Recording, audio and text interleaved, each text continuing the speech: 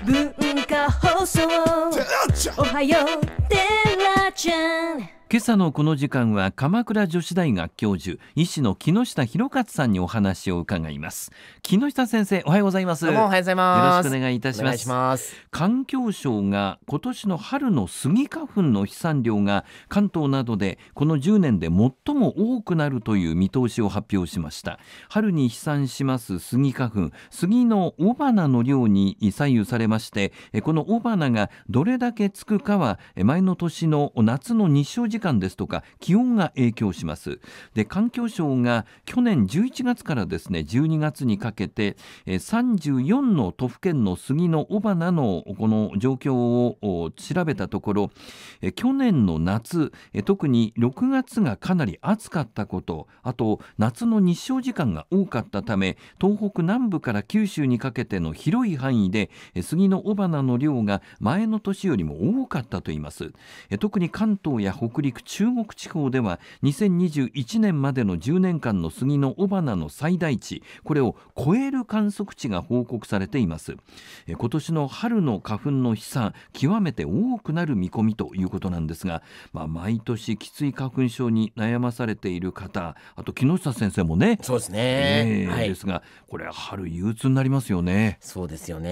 えまあ早めのはいお薬の内服、はいこれが症状を軽くするっていうことがエビデンスとしてありますので、ええ。まあ僕も個人的には今年は2月からはい内服開始しようと思ってます。ってことはあの今まだ間に合いますね。間に合います。ね今ラジオ機の方もそうです大丈夫です。ね病院へお越しいただけると処方されますので、そうですか。お願いします。はい、で花粉症春やこの秋というイメージあるんですけれども冬にも飛散している花粉あるんですよね。そうなんですね。まあもちろん地域によるんですが、ええ杉は東北から九州の広い範囲にかけて、ええ2月中から飛散量が多くなりますのではあ。この段階から花粉症の症状に悩まされやすくなります、ええ。まあ、人によってはですね1月から症状を自覚する人もいるんですよねまたヒノキもですね、ええ。杉ほどではありませんが主に関東や関西で1月から2月にかけえてえ飛散が確認されてるんですね、はい、そうなんですね。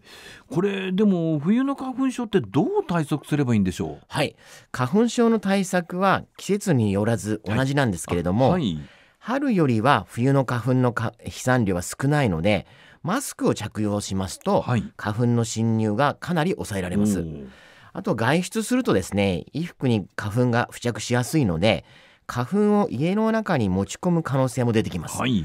ですから付着しやすい素材、まあ、ウールですとかコーディロイこれを避けると家に入るとき花粉を振り払ってから入るようにすると少なくなりますねはい。また部屋の掃除も有効な手段の一つです、はい。部屋に持ち込まれた花粉は床やカーテンソファーやベッドなどに残りやすいのでこまめに室内の掃除を行ってください、はい。特にファブリック製品は定期的にえー洗濯か水拭きこれで古墳を取り除いていただきたいですね、はい。さあそれでは今朝のテーマいきましょう。こちら。寒い冬を乗り切ろう。冷え症の原因と対策。寒い季節になりますと手先あと足の先ですねえ冷えが気になるという方いらっしゃるでしょう、えー冷え性の方もいらっしゃいますけれどもこれ何が原因なんでしょはい。冷え性の原因は一つではないんですが、まあ、最近多いのが体温調節に関係する自律神経のバランス、うはい。これがあのストレスや不規則な生活などが原因で乱れてしまって起こる。またあの熱っていうのは筋肉で作られるんですけれども、はい。その筋肉量が少ないと、えー熱の作られる量も少なくなって起こる。はい。あとはあのきつい下着や靴これを身につけますとですね。血行が悪くなって起こってくる場合が考えられます。はい。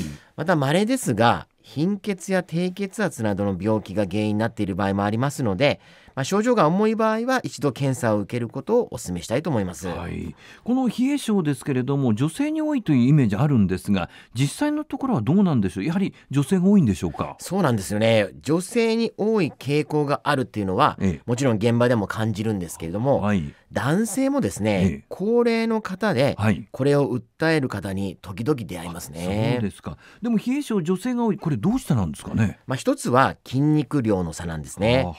まあ、一般に女性は男性と比べて熱を作る筋肉量が少ないのでええ、まあ、冷えを感じやすくなります。はいまあ、加えて月経がありますので貧血にもなりやすくなると。はいそして更年期になりますとホルモンのバランスが崩れやすくなって自律神経に影響を及ぼす場合があるので起こりやすいですね。はいではこの冷え性を改善するにはどうすればいいでしょはい。